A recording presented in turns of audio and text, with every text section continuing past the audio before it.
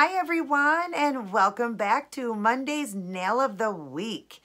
Oh my gosh, check out what I decided to go with for my first design in the year 2020.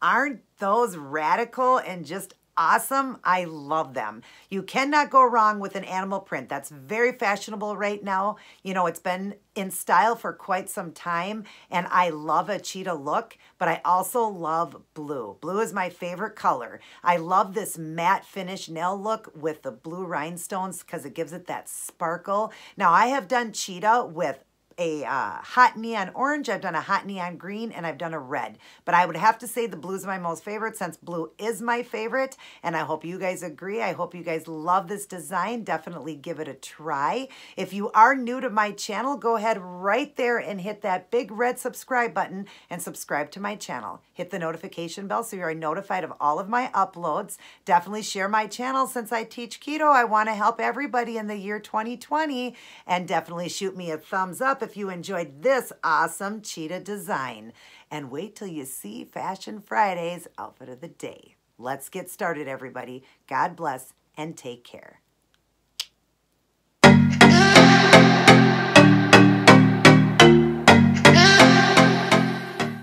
Hey everyone! So here's what I chose to go with for this week's nail design. A beautiful cheetah and blue accent with blue rhinestones and a matte finish. If you'd like to see how I did this one, continue watching. Hi everyone, welcome back to Monday's Nail of the Week. Starting the new year off 2020 with a brand new set of square sport length nails. I had those beautiful coffin long glass nails for the whole month of December and through the new year, and I had a lot of fun with them. But now we're going to keep it just more natural looking. And as you see here, I have got a nude color and blue. I'm going to be doing a cheetah print, and blue is my accent color. So I will go over and show you what I'm using in today's design. For the tan nails, or I'm sorry, for the French nails, I'm using this OPI Bubble Bath for the sheer background. And then for the tan, I'm using this one, the Kiss Gel, and it's actually called Tan. I get from Dollar Tree. And then the Sally Hansen Miracle Gel for the blue, and it's called Tidal Wave. Absolutely beautiful blue. And then I've topped everything off with the Dry Fast uh, Seche Vite top coat. Can't talk today. And then I'll be working with Robin Moses's brush called The Wand. And you order robinmosesnailart.com. And there's the end of it. Beautiful red sable hair. And the brush is gorgeous. Her brushes work so well for doing um, art. And especially if you follow her videos.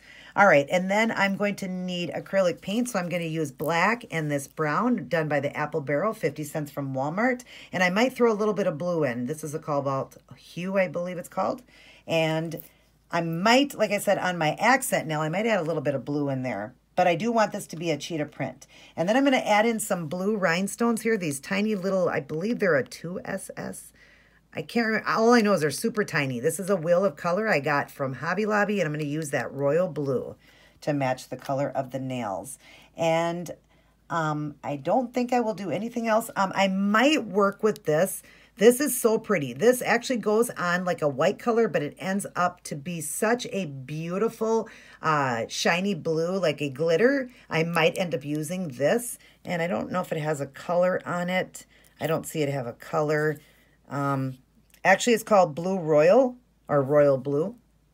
So, but it goes on like that. That's what it looks like. In the bottle, it looks like that, but once it dries, it looks like that. It's gorgeous. I might use some of that. And then I believe I am going to matte finish this one. I'm going to decide at the end, but if I do, I'm going to use the OPI matte top coat. So I am going to get started on some of the cheetah print, and I will return to show you guys what I am doing. All right, so we've got the start of the cheetah print with that dark brown. I'm going to show you how I'm doing that. I'm using just the brown. Here's my palette here. I've got the brown, the black, that's the glitter, and that's the regular blue there. All right, let me get my brush here.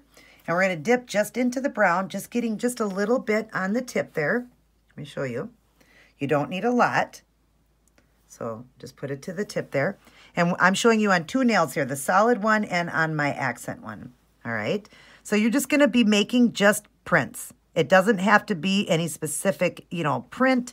Just do it however you feel looks good. You're just making like blobs.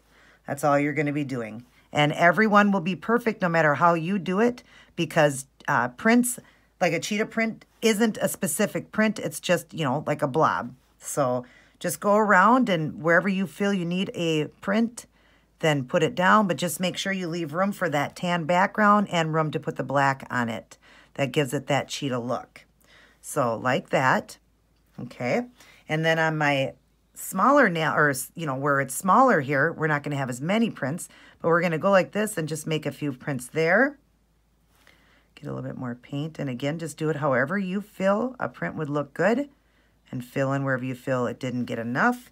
And just like that, that's plenty on those nails. All right, so now I'm going to let these dry and we're going to go on to the bordering of them, which is done in the black. I will return after I get a few done. All right, now I've got that black on there, which really makes it look like a cheetah. Isn't that cool? I love it. Okay, so let me show you how I'm doing this. I hope the lighting is okay in here this time. Each time is different, however the lighting is going to be as it's going to be. All right, so you just go around your spots however you want.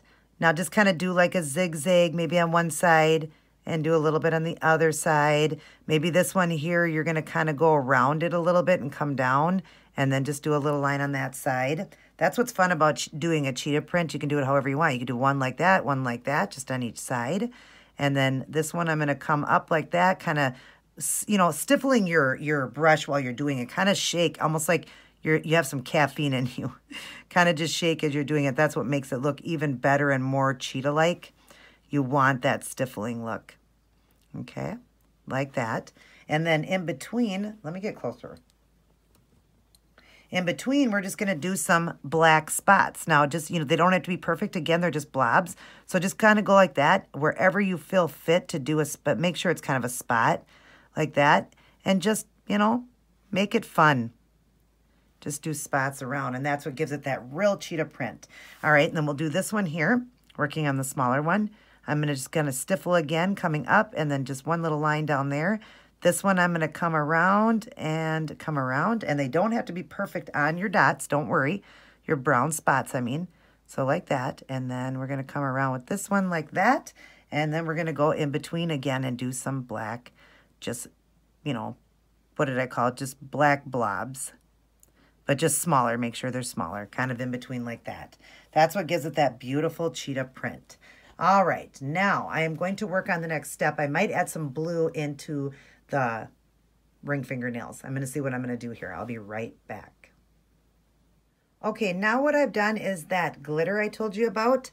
And as it's drying here, you'll see it's getting glittery. See on the side there? Isn't that cool?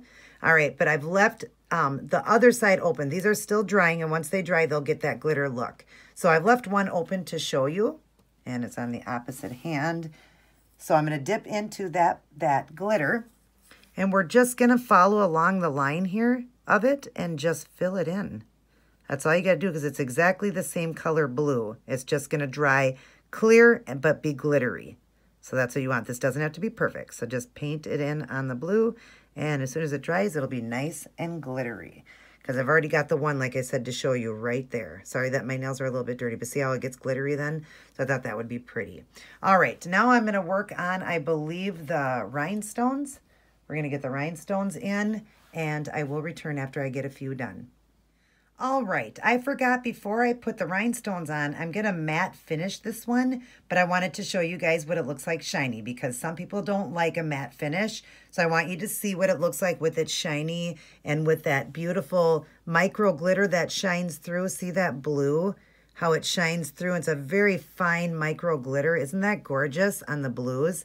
I love it. I think it's beautiful. But this is what it looks like shiny. And now I'm going to do a matte finish and then put the rhinestones in because you can't go over rhinestones with matte. It would fog them out. So you got to get it matte finish, let everything dry up, and then start putting the stones on. So this is what it looks like shiny. I'll show you guys in a moment what it looks like matted. Okay, and here's what it looks like matted. I just think this particular one, there are certain ones that I do, look better matted, especially a cheetah print. I just think this one looks so velvety and just looks awesome being matted. But you get your choice. That's why I show it to you shiny or matte finish. Now I'm going to add in the rhinestones. I will return. All right, now you see it with those beautiful crystals. Isn't that so cool with that matte finish? That's why you had to do the matte finish first and then glue the stones down because you can't go over it with the matte. They wouldn't sparkle. But I love that matte finish with the blue sparkle. Isn't that gorgeous? So I've got some laid out for you and I've left it open on this finger right here. I've got the glue on this cover here. I'll show you right on this cover right here. So I'm just going to dip the orange wood stick like that. And we're just going to kind of dot it going along this line here. Don't worry. I know you got the matte finish done on it. And you don't want to mess that up. But these stones are going to cover that up. So let's just get a nice coat of that glue down like that. And we'll start putting on the stones. Just go right down into a line and give them each a little tiny push. If you can't pick them up, then just get it wet a little bit with your mouth or a little bit of water. Um, that way they're easier to pick up. Don't pick them up with the glue, though, because they will get a matte finish to them then, and we don't want them. We want them to sparkle. So just very carefully line up your stones here as you're going along. This is a little bit time consuming, but just remember the outcome is so beautiful. So just be patient and line them up you know, as they go along. The uh, smaller stones are so much easier to pick up. So if you're going to work with big ones, just understand that it's going to be time consuming and you just got to be patient. And especially if you're online because things don't seem to work out when you're online. I'm going to put another little dab of glue right there and then we'll get this last stone in. Pick a blue one up here. That's by itself so that it'll stick right there. Isn't that pretty, you guys? And then just kind of tap each one into place with your orange wood stick to really give it a nice hold. I'm going to get this out of the way here and move these stones over here. And I'll just use the paper towel to pick those up. We'll just get them out of the way here so we can finish up our video here. But anyways, isn't this just so pretty? I love it with the blue stones and that matte finish. And then adding the blue stones into that cheetah nail right there, the ring finger, I think that was such a good idea. I love these. I'm going to get everything cleaned up and I will return to show all of you guys the end product and the photos. Alrighty, everyone. I am all done. Aren't these cool? Now, you can't go wrong with an animal print. That is so in style right now.